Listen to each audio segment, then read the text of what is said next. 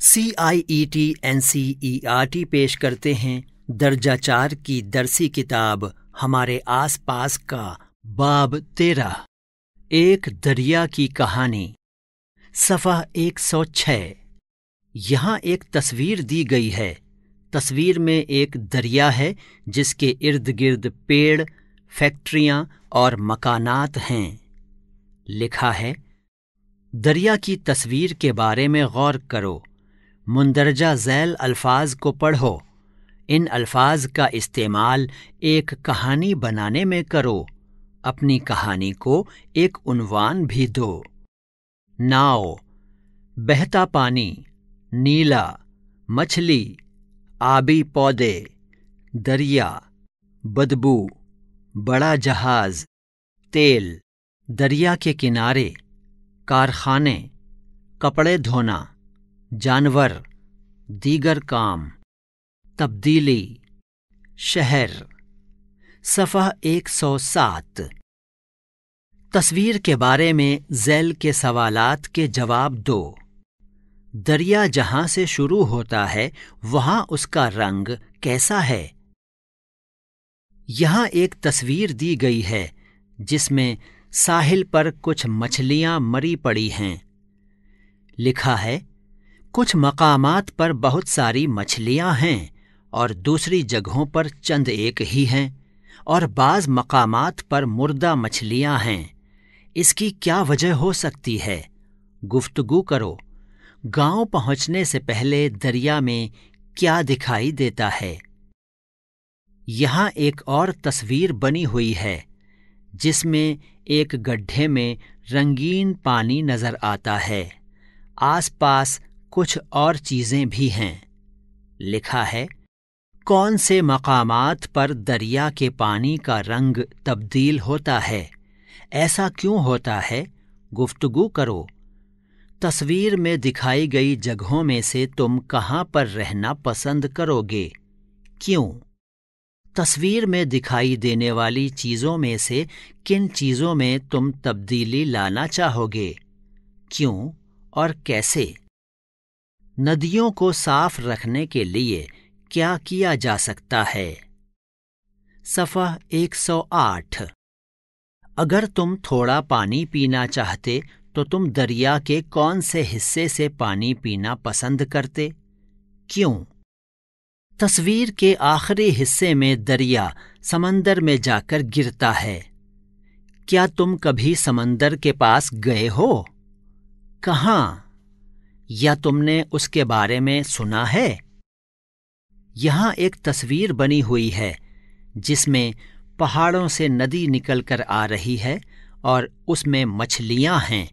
नदी के इर्द गिर्द कुछ मकानात पेड़ पौधे और फैक्ट्रियाँ हैं।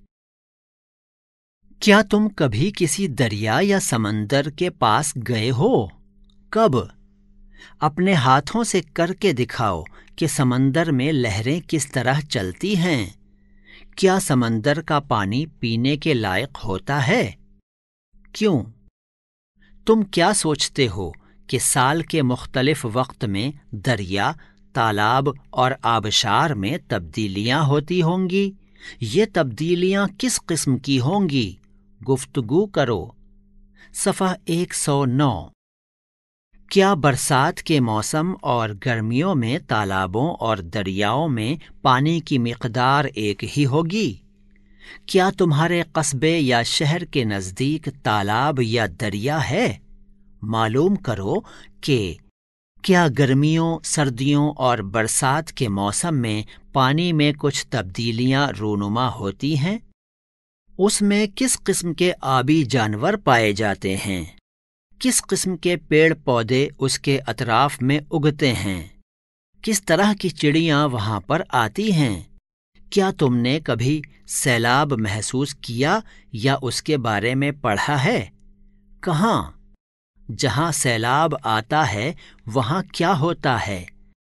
क्या तुमने किसी दरिया में या तालाब में गंदा पानी महसूस किया? कहाँ? तुम्हें कैसे मालूम होगा कि पानी गंदा है? अगर पानी साफ़ महसूस होता है तो क्या यह ज़रूरी है कि उस पानी को पीना दुरुस्त होगा? इस पर गुफ्तगु कीजिए। सफ़ा 110 पानी गंदा कैसे हो जाता है? तुमने जाना कि जैसे जैसे दरिया मुख्तलिफ़ गाँवों, कस्बों और शहरों के पास से या उनके दरमियान से गुजरता है पानी में तब्दीली आ जाती है। लोग दरिया के पानी को मुख्तलिफ़ किस्म के कामों के लिए इस्तेमाल में लाते हैं। मिसाल के तौर पर कपड़े धोने, जानवरों को नहलाने और बर्तन धोने। इस तरह के बहुत से काम पानी को गंदा कर देते हैं। जैसे जैसे दरिया मुख्तलिफ़ मकामात से बहता रहा, उसका पानी तब्दील होता गया। तालाबों और झीलों का पानी भी इन्हीं वजूहात की बिना पर गंदा हो जाता है। तुम अपने पीने का पानी कहाँ से हासिल करते हो? किसी दरिया या नहर से? क्या तुम्हें लगता है कि दरिया की दी हुई तस्वीर की मानिंद तुम्हारे दरिया या नहर का पानी भी मुतासर होता होगा? इसे आजमाएँ। इस सरगर्मी के लिए तुम्हें कुछ चीज़ें घर से लानी होंगी। तुम्हें उनमें से ज़्यादातर चीज़ें बावर्ची खाने में ही मिल जाएँगी। पाँच या छह ग्लास या बोतलें, नमक, शक्कर, खाने वाला सोडा, हल्दी, आटा और दाल, तकरीबन आधा चमचा हर एक का। लेमों का अर्क, साबुन का पानी, शरबत, तेल। एक एक चमचा हर चीज़ का। अब तुम्हें क्या करना है? हर बोतल या ग्लास को तकरीबन पानी से आधा भर लो। ख्याल रहे कि सब में एक ही मकदार में पानी हो। अब बारी बारी हर एक चीज़ को पानी में डालते जाओ। मसलन, हल्दी पहले ग्लास में तेल दूसरे ग्लास में, सोडा तीसरे ग्लास में, यहाँ तक कि हर ग्लास में एक एक चीज़ मौजूद हो। हर एक चीज़ को पानी में मिलाओ और महसूस करो क्या होता है। अपने मुशाहिदात को टेबल में दर्ज करो। सफ़ह 111 तुमने क्या मुशाहिदा किया? सही जगहों पर सही का निशान लगाओ। यहाँ एक टेबल दी गई है।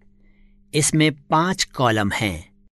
पहले कॉलम में लिखा है अशिया, दूसरे में लिखा है पानी में तहलील हो जाती है, तीसरे में लिखा है पानी में तहलील नहीं हो पाती है। चौथे में लिखा है पानी का रंग तब्दील हो जाता है। पाँचवें में लिखा है पानी का रंग तब्दील नहीं होता है।